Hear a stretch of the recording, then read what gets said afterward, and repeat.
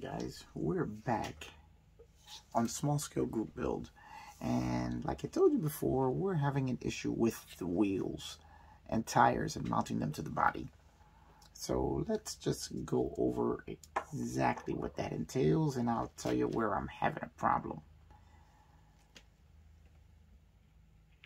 The wheels are held on to the chassis in this front suspension with these small pins which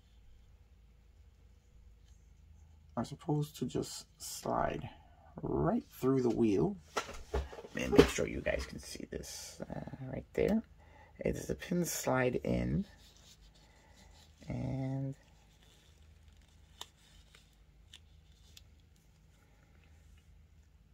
enter the chassis or enter the, the suspension mounts right there and there. Now, unfortunately, the pins are way too big to mount the wheels. And I have tried opening them up a little bit, but would have to open them up to the point where you destroy them to try and get these pins in. So that's not going to happen. So I figured out another way of mounting these things up. So let me show you what I did. As I have the two wheels on this side already mounted, what I'm doing is I'm making pins that will insert into the suspension mount and then it'll go about halfway up through the wheel. I can't have it come all the way up through the wheel because I need if you can see the dome on top of the pin, that's the actual hubcap on the wheel. So that has to go in there. So what I'm going to do is I'm going to insert my pins, cut down the kit pins so that they insert into the wheel. And we should have, be able to mount our wheel pretty easily. So what I'm using to make my pins are these aluminum rods that you can pick up at any hobby shop. Insert them into the axle and make them just long enough to grab the wheel not so long that they go all the way through the wheel but just enough that they go about halfway into the wheel which will allow us to glue everything in securely and still give us enough room to insert the upper portion of the pin or the head of the pin right onto the hub there and to have our little hubcap. So first thing I got to do is to make the pins.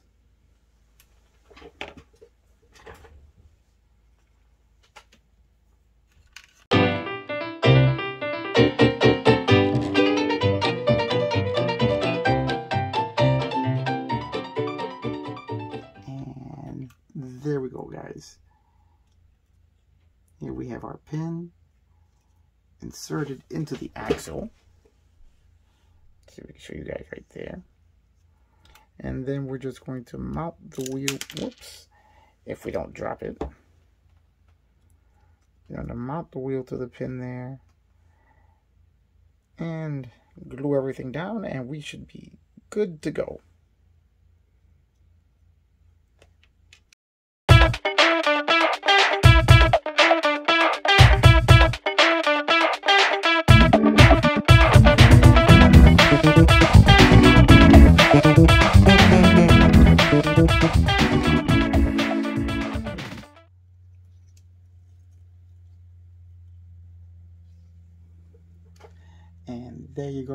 Guys. Now we have our wheels mounted.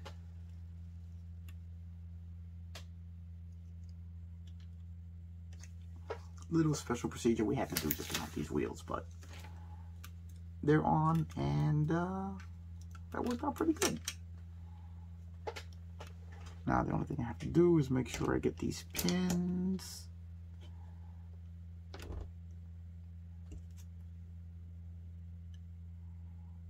cut down and installed into the wheels.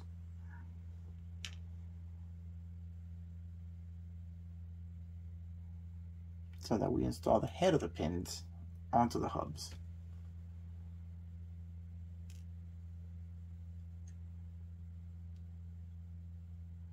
And our super glue looks like it's setting up already.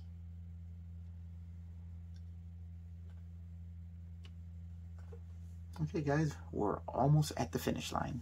Just a couple more things to go.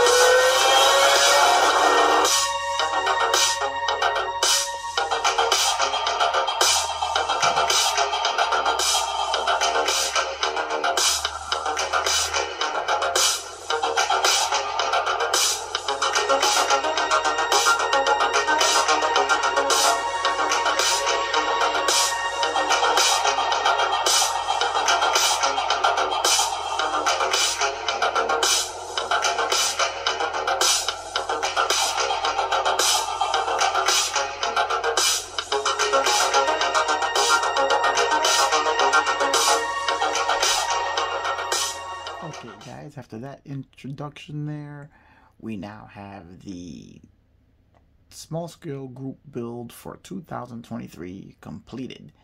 The Mercedes Benz, well, the 1928 Mercedes Benz SSK, now known as the 1928 Mercedes Chromes SSK. As you can see, I've completely chromed out the entire body or as close to chrome as I can get. Um, in keeping with what I did last year on the small scale group build with the Chrome Vette. Now we have the Mercedes Chromes SSK. And this is 143rd scale, so even though it looks kind of big on the screen here, um, if you look at my hand, that's how big the thing is. It's uh, teeny tiny 143rd scale. Smaller than I was really planning on getting into, but if you saw the rest of this series, you'll see why I picked it. It's actually a very cool little kit. Um, you can see the build up in this series. It actually builds up very nicely. Oh, I see. I'm going to have to do a little bit of touch up on the running boards there, but that's okay. That's just a simple little touch up.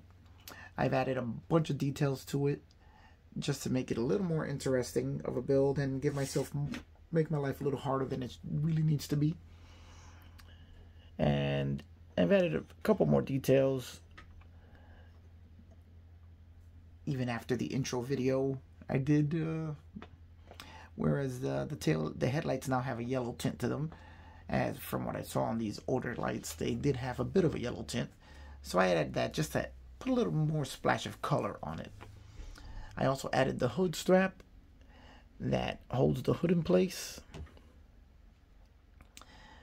that I did with a bit of Tamiya tape. I think it's the one millimeter Tamiya tape. Just colored it black and laid it right across the hood. Boom, instant hood strap. The exhaust, as you may have noted now, has changed from the original exhaust, which I had here, to now a copper colored exhaust because I just wanted to put a little bit of a splash of color in certain areas of the car. I mean, we have the colors on the interior, but the body was just basically all chrome other than the running boards. So I wanted to just add a little splash of color, something that uh, just stands out. And so the exhaust was a perfect place to add just another metallic tone, which is why we have the, what color did I use on that? I think that was Tamiya Copper, I think is what it was, that I sprayed on there which came out pretty nice. Let's take a look at the back here. Here we have the, you can see the spare tire mounted on the rear of the car. All the wheels mounted. I mean, the, it's just a neat looking little model. It's an interesting little build also as it's engineered so that every part just kind of layers on top of the other. And uh, doesn't matter where you start, which is probably why the instructions don't have a step-by-step uh, build process. Just basically shows you how the entire car, how it goes together. Because it really doesn't matter where you start on this car. Um, everything just kind of leads to something else. And it all just kind of, they all just kind of build upon each other, all the different parts. It's really interesting. I really kind of like this build. I, I found it a very interesting build. And uh, I may look into getting a few more of these old little Entex pocket builds. Um, it really is a fun little car. And let me show you some of the details that I've added to this. Let's see if we can put a little light on it. We have the interior, which now has all the gauges. Well, not all the gauges, but um, you know, I did what I could with some small photo etch bits, as I explained in the uh, build series. The dashboard is now a wood tone dash. Whoops, I hit the camera. The steering wheel, a wood tone steering wheel. The there is carpeting in the car as it has the embossing powder for the carpeting. It now has I don't know if you guys can see it there. Let's see. We have our gas, clutch, and brake pedal. We have a shifter. Basically, all the, the interior is completely built up. And all of the instruments have been added.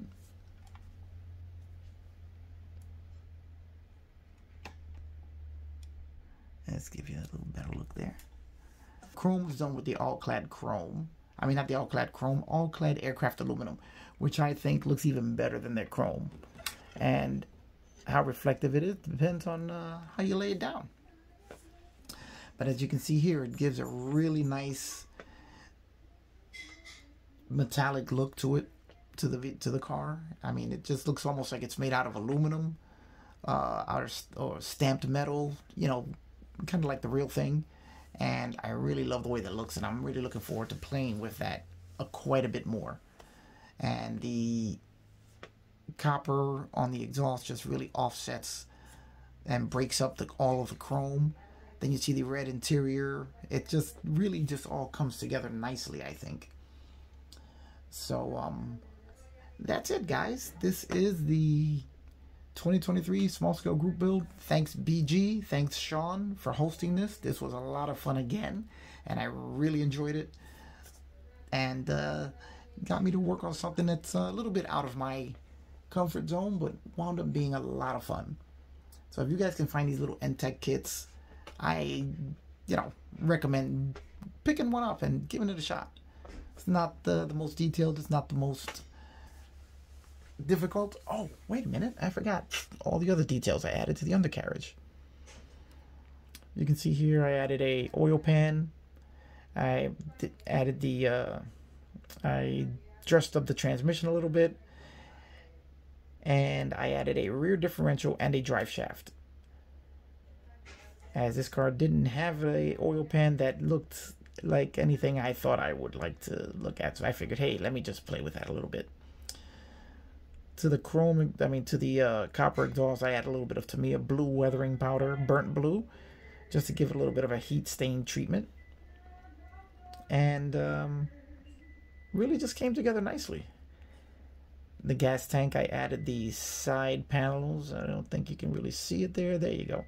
As it was just an open hole there that you could see right through to the side of the car. So now the gas tank has its side walls